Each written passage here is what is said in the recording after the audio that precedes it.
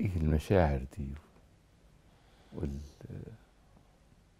أستاذ الأجيال عبد المنعم مدبولي وفي سنه ده؟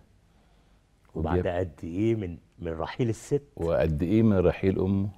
لما افتكر افتكر بكى. حالة حقيقية آه والله يا دكتور وإحنا بنصور ال- الحلقة دي حالة بكا جات لي كل الناس بتصور يا إن مش قادر أقول محدش قادر يمسك نفسه. محدش قادر يمسك نفسه إن راجل في السن ده وبعد وفاة الست. بالسنين دي كلها. في كل ما الوقت هو ده ال- الأم دي ما بتموتش. و- على فكرة دي كل يعني فراقها بي بيزيد و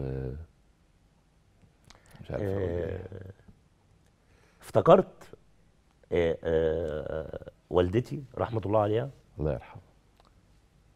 يوم ما توفت كان عندي كنت أنا مساعد مخرج صغير فكنت بشتغل مع رحمة الله عليه فتحي عبد الستار.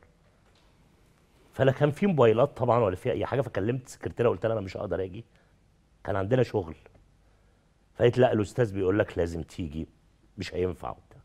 فاضطريت إن أنا أسيب والدتي في المستشفى ومشيت. أنا مشيت من هنا بعدها بنص ساعة توفت.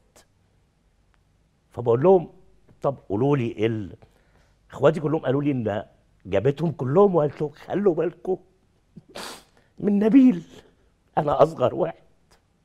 في إخواتي لما الأستاذ مدبولي حكى الحكاية أنا جالي انهيار عصبي وقتها اللي هو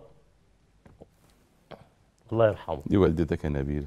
فعلا. الله, الله يرحمها. الله يرحمها. ست آمنة. الله يرحمها رحمة الله عليه وعلى يرحمه. كل الأمة. الله يرحمها خلينا نشوف حاجة تانية جميلة يلا برضه من شغل المخرج الجميل نبيل عبد النعيم. إحنا آسفين يا نبيل تعبنا.